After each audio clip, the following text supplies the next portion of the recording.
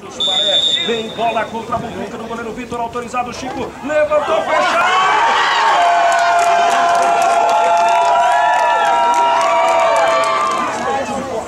Há 20 anos, o som estádio. Não hoje, o outro